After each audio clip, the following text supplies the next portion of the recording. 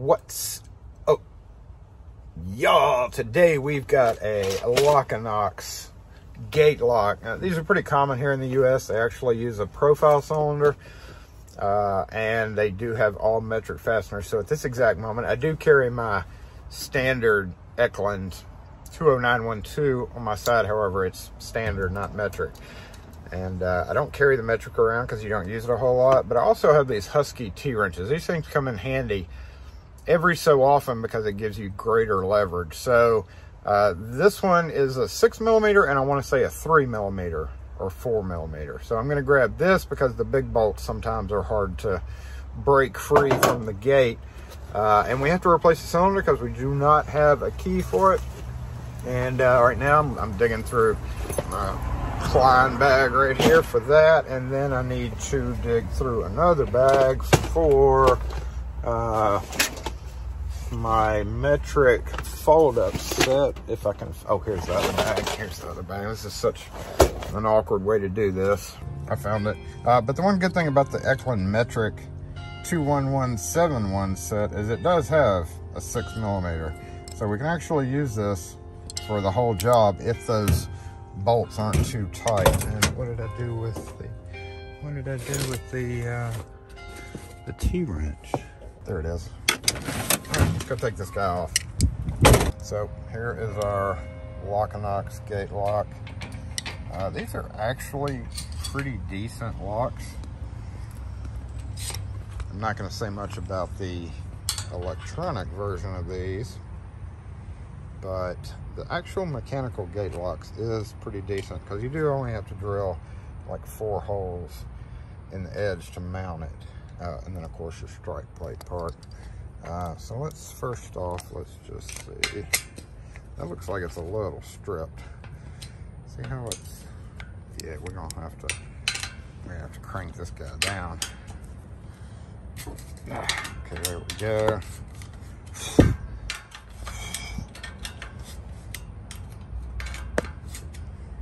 Let's see how this one does.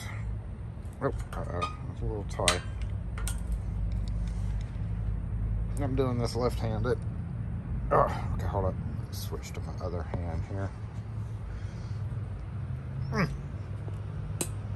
Mm. Uh-oh, okay, hold up. Okay, this bottom one ended up being a two-hander, and that's typically the case because the bottom catches the most rust, uh, especially on the old ones. We can see how rusty that bolt is. Uh, and I don't have a camera stand here, so bear with me while I get this the rest of the way off. There's no real way to do it. We can see the corrosion on the threads. I could go ahead and spray it right now, but we're almost off. We're almost off. Okay, break that free and let's come up here. I think we should be good on that. Uh, and now I gotta support the weight of it because it's it's literally gonna just come off now. That. Let's see if we can get this bolt the rest of the way out. It's a good idea to uh, to heavily lubricate these guys every so often if you're a Locinox homeowner to keep this from getting bad.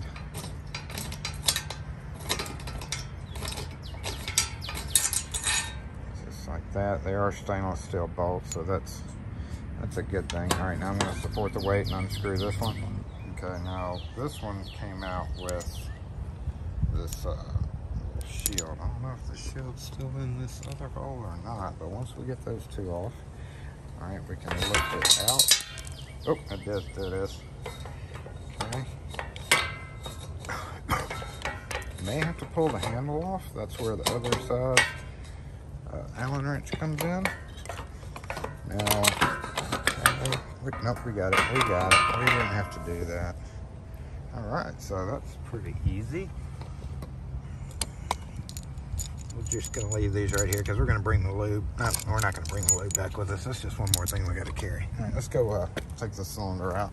Okay, there we go. I'm gonna kind of keep an eye on my camera there because it's been freezing up. Now, these are standard profile cylinders, except they're pretty short. That's two and an eighth inch long or 54 millimeter according to the website. And because they're screw caps or uh, paned in caps like this, uh, you know, they're, they are clip. We could take the clip out and follow it out just like a regular profile cylinder would be. However, uh, these, if you decide to keep them in stock, they're not terribly expensive. So we just, to save time on site, we just switch it. However, yes, it does have to be picked. However, however, you notice it's only four pins. So kind of good and bad. Uh, I would prefer it to not have to be picked because it is a kind of a Yale paracentric, paracentric type keyway, like a Y1, but four pin, and, and it's actually got pretty radical bidding on this one. So uh, let's just give it a try, raking it a few times. Uh, and we just have to take, there's the, there's the cylinder screw right there. Boop. Now we only needed that other Allen wrench if we took needed to tighten the handles, which you always check that when you're on site. Make sure the handles are tight. Uh, however, just to point out, I believe this literally does, uh, you could take this lock apart by unscrewing this and lifting it out, but it won't come out with that cylinder in the way. So no matter what, you you do have to uh, pick the cylinder, and let's just see which way it goes. It's that way, so we need to pick it that way. Let's move all this down so that I can grab my easiest to grab picks. Oh, I just, oh, I just lost my screwdriver. Come back. I'm parked on a hill, so everything's gonna roll kind down. Uh, uh, we got two chances, two cylinders to try, so I'll go ahead and lubricate both of them. Uh, we have a dang dude. Oh, no, here, how about a, how about a hook? Yep.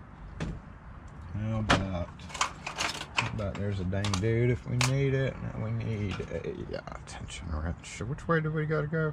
We gotta go, we gotta go to the right. Zero cylinder in here. Mm, mm, mm. Not what I really wanted to be doing. We still working? I gotta watch the camera. Let's just give it a go before we just drill it out. It's only four pins, so maybe we'll get lucky.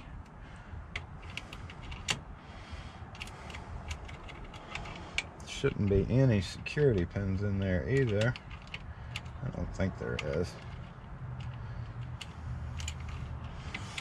Typically on paracentric keyways like this, I have to, oh, I prefer the half diamond. I can do some, some damage on a para with a half diamond.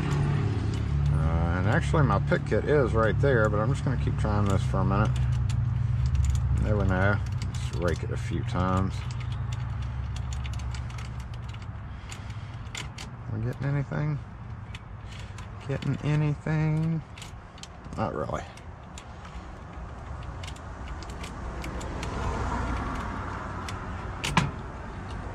Okay. Dang, dude.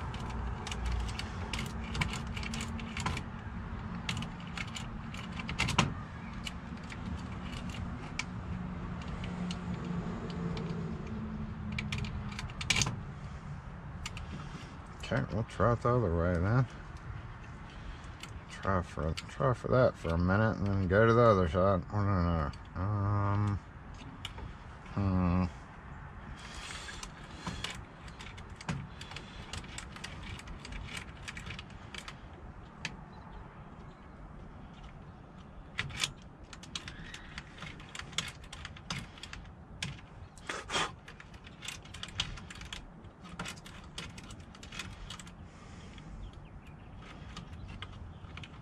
Come on. You can do it. I wonder if the cylinder will pull. No, it won't. I was wondering if it would. Yep, there we go. Hey, Jason. Hey, Jason. Alright, so I think we're going to have to actually turn all the way around, which means we're probably going to have to lift the pins as well. Maybe, maybe. Let's go this way.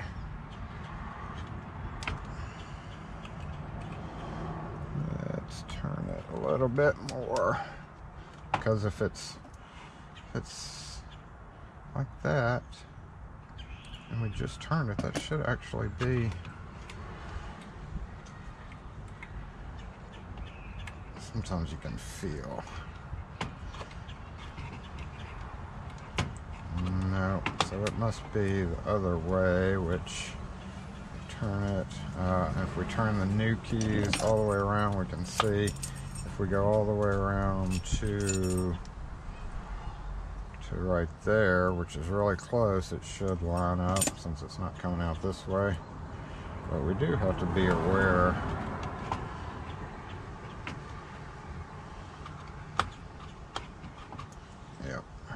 go all the way around, so we're gonna push it back in. Let's go ahead and, ah, we may have to spin this.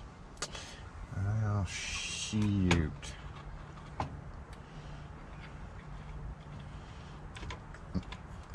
Nope, nope, we're not gonna have to. Okay, so we're caught up in the, and the top pins just dropped down. No big deal there. We're just gonna slide this in lift them up. Boom. Ooh, that's spring loaded. And uh, once again, just turn it. We should go all the way back to the beginning. All the way back. Somewhere in this range. Right there. Shoot, just barely. And uh, there we go. Got that guy out. And while we have it out, let's go ahead and soak the inside. Yep, yep. Let's go ahead and get get that coated real well. And uh, and the bolts as well too, especially that one. Yep, you're good. Yep, you're good. Y'all are okay. Okay, we're all good. Boom, back down and uh, back on the gate. Boom. Back in. Boom. Are you to boom back in for me?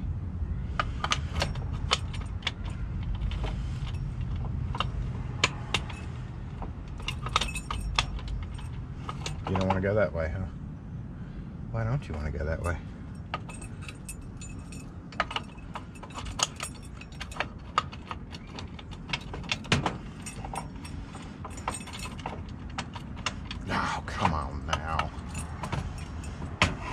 being stubborn.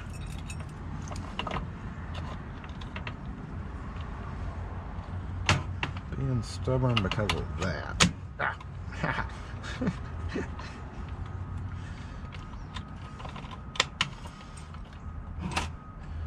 yeah, everything's a little bit off, looks like. There we go. Hey. There we go. All right, now try it. Two. Now this is an old version.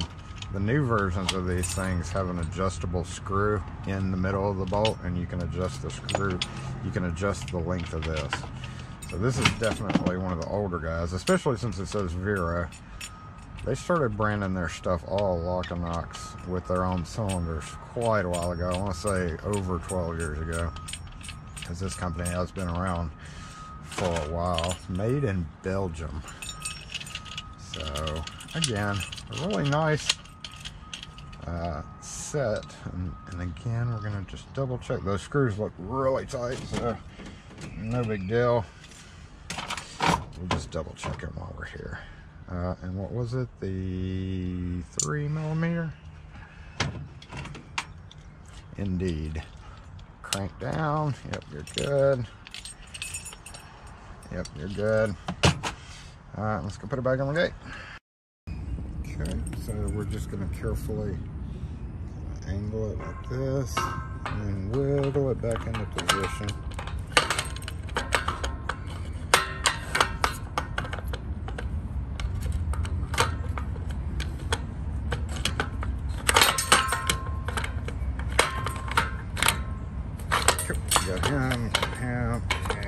Come on, you can do it. There we go. All right, put our bolts back in. Don't forget your spacers.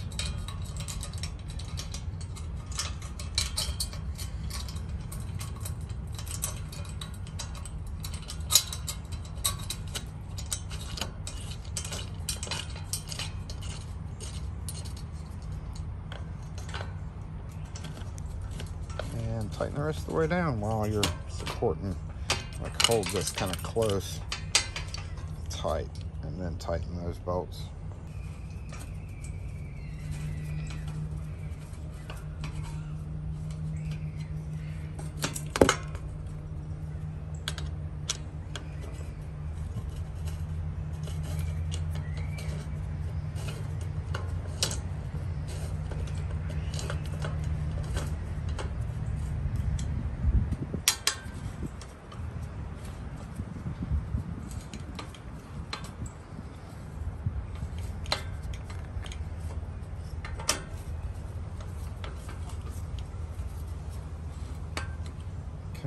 Me go adjust it a little bit. Then kind of hold it with my hand here, just like this. Push it, push it as I'm tightening those bolts to make sure it seats on the fence correctly.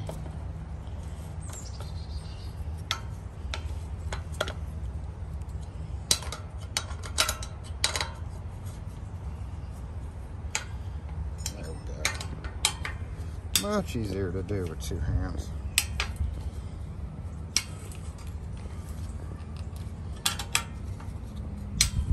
Okay, tight. Tight. Try it. Should work just like before. Try your key. Like that works.